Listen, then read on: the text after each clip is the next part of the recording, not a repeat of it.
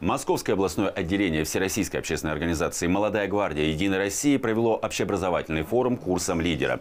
Его участниками стали более 150 молодых людей из Люберец, Котельников, Дзержинского и других муниципалитетов Подмосковья. Особое внимание уделили созданию и реализации социальных проектов, а также волонтерству. Гостем форума стал депутат Госдумы Роман Терешков. Он пожелал ребятам быть целеустремленными, не останавливаться на достигнутом и больше внимания уделять самореализации.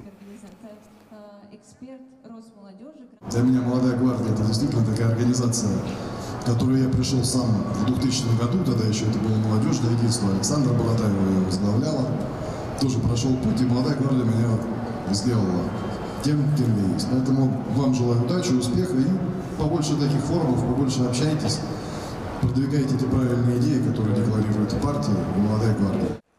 На форуме молодогвардейцы получили полезные знания и навыки, которые помогут им притворить в жизнь свои идеи.